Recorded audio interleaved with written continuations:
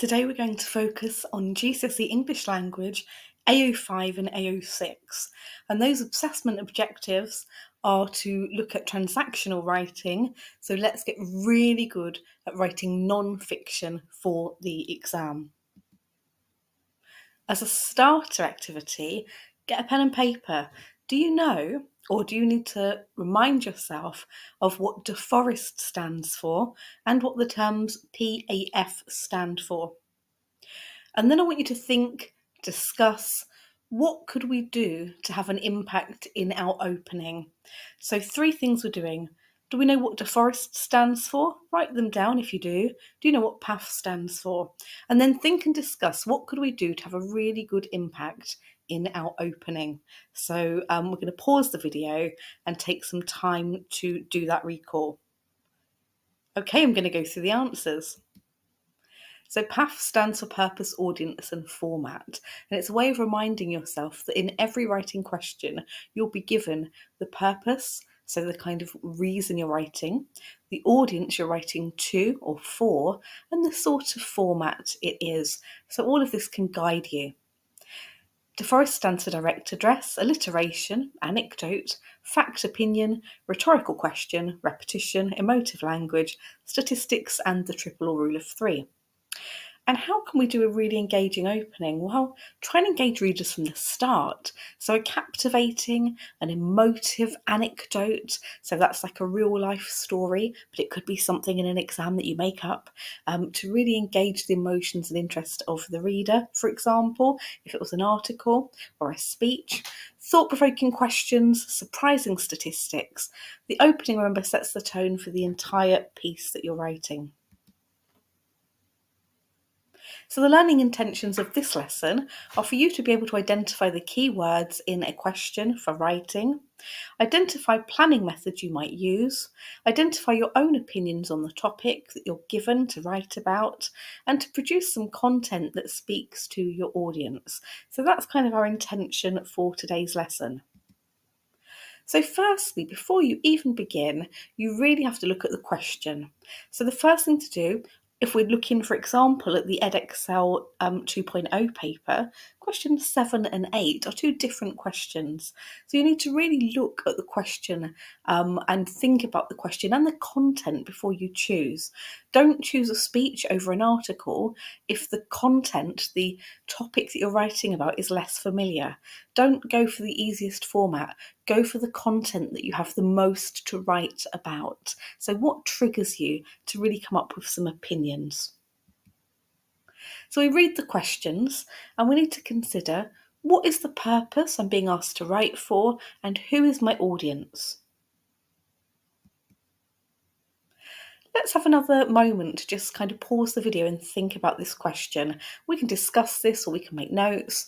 How might each purpose or audience change your style, tone, and content? So, if you're given an audience, for example, of youth, how would that be different to families?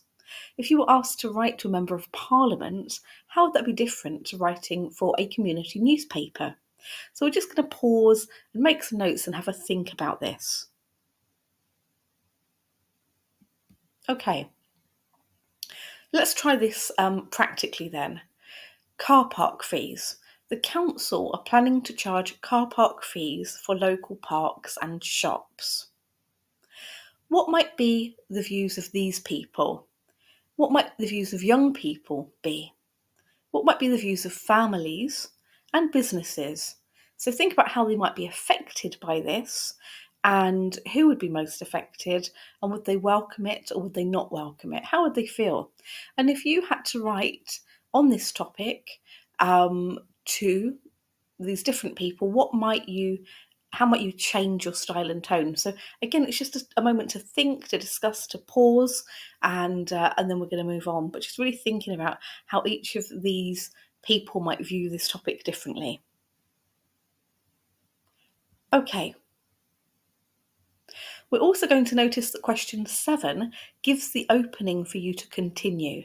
So on question seven, you'll always get an opening paragraph, which does help you to set the style and tone. Question eight is different because it gives you bullet points And every time it gives you a bullet point, that is content that you really must include in your answer. So it's giving you things that you really must consider. It's a really good idea to kind of have a think about planning your writing.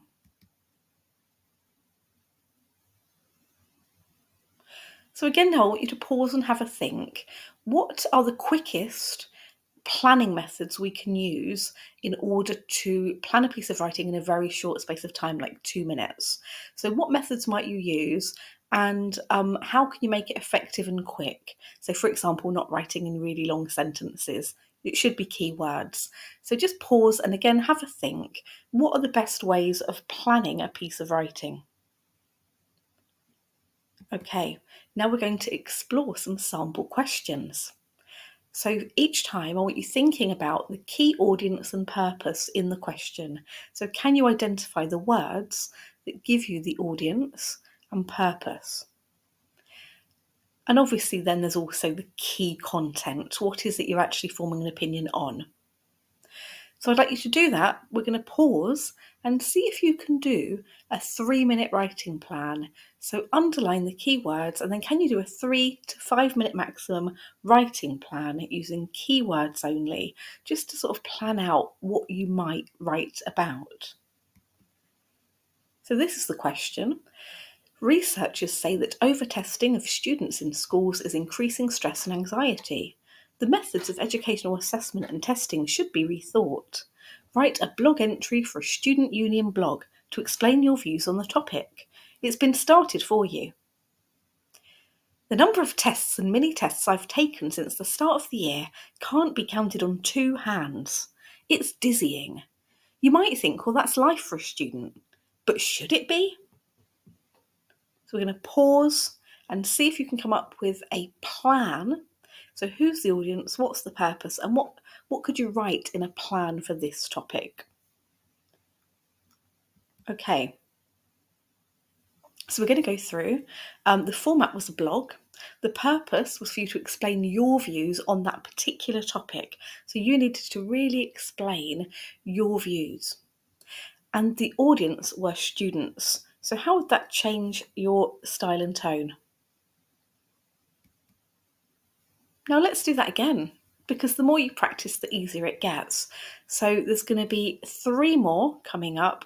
I want you to each time pause the video and do the same thing. Can you underline or write down and make notes on the key audience and purpose? And then can you challenge yourself to do a three to five minute writing plan? Here we are again. Pause the video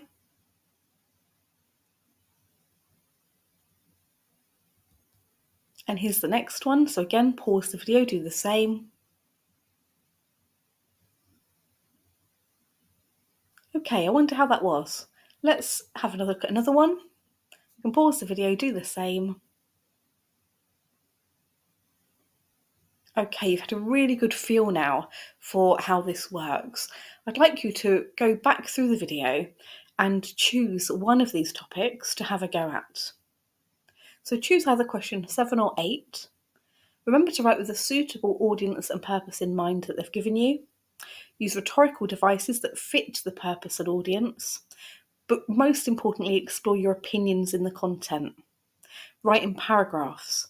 Develop your ideas in detail. Create a clear beginning, middle, and end. And vary your sentence structures and styles. And don't forget to use a variety of punctuation. You can always find time to go back and add and change punctuation at the end if you need to, but ideally try and bear that in mind as you go. But content is the most important thing. So it's over to you to do this, and then we're going to move on to a self assessment. So, for your self assessment, we're going to pause now, and I want you to ask yourself Did I manage to write with the audience and purpose in mind? Use suitable rhetorical devices. Go back through your writing and check. And where you've used it, does it fit? Does it make sense? Does it work? Does it suit the audience? Explore your opinions in the content. Did you write in paragraphs? Now that's really important. Remember my video on tip top paragraphing methods? Did you write in clear paragraphs that flowed in a logical order? Did you develop? Ask yourself, did I develop my ideas in detail? Have you created a clear beginning, middle, and end? And uh, apologies, beginning should have two ends.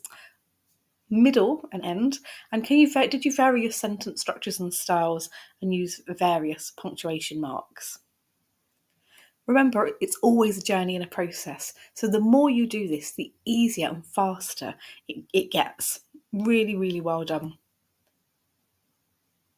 Keep going. Great stuff. Well done.